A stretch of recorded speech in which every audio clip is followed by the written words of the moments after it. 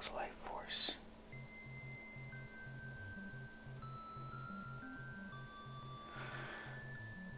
And doesn't really have too much of an ending.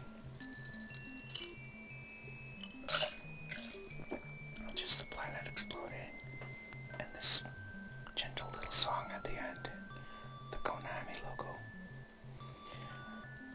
So I hope you enjoy.